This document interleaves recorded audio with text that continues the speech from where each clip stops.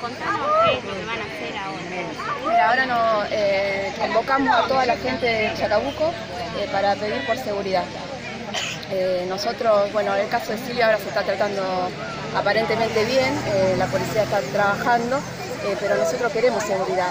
En el barrio, en el barrio donde nosotros vivimos, el barrio Waldo Martínez, ya habían ocurrido bastantes hechos, en los cuales uno de esos hechos le robaron a mi hermano. Eh, a, un kiosquero también lo dejaron por muerto, eh, hicimos, reclamamos, pedimos a la policía y a mí personalmente un policía me dijo que eh, no podían hacer nada porque ellos los agarraban y al otro día el juez los liberaba. ¿Me entendés? Entonces estamos pidiendo, están equivocados la manera de trabajar, algo hay que hacer, no podemos estar así. Hay mucha gente de afuera, no todos son iguales, porque yo conozco gente de afuera que son excelentes personas, pero...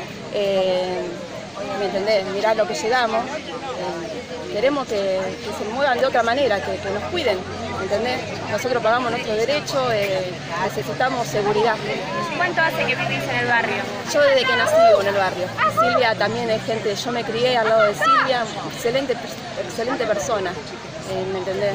Además, la manera de que fueron los, los robos fueron muy eh, agresivos. Todos los robos fueron agresivos.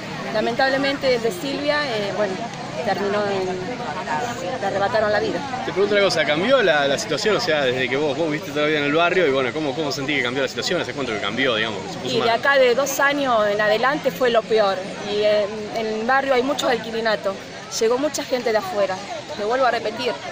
Hay mucha gente buenísima, porque yo conozco hay gente, pero la mayoría son gente. Bueno, acá están las consecuencias de lo que pasó.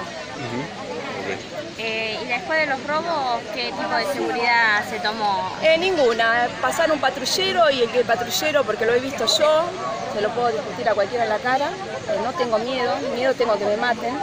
Eh, ponen el aire, las luces, se paran en la esquina y duermen una siesta. Gente para trabajar tenemos, de sobra. Diría que mucho en Chacabuco, pero están trabajando mal.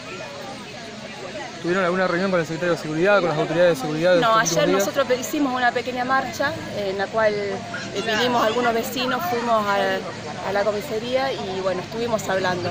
Nos prometieron que, bueno, la delincuencia y todo no se va a ir, pero que iban a trabajar para que estuviéramos más seguros.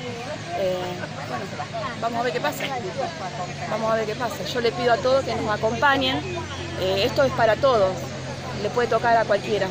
Hoy le pasó a Silvia, mañana a mí, a vos, eh, a todos. Estamos acá por todos. Eh,